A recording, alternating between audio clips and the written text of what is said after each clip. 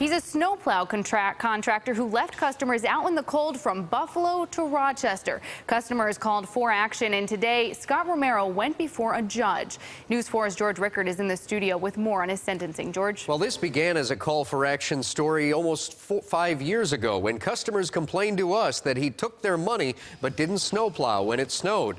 At that time, Scott Romero was operating under the name Extreme Snowplowing. Soon after that, the state attorney general sued him. But around Around the same time, he was dealing with Rochester residents under a business named Affordable Tree Experts.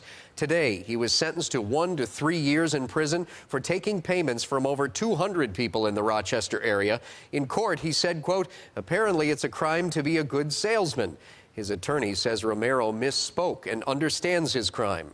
I believe Romero had every intention to complete these contracts, and I think that as he stated in court at his plea, that his his errors were in his misrepresentations and some of the advertisements he used to to get the contracts that he, he had obtained.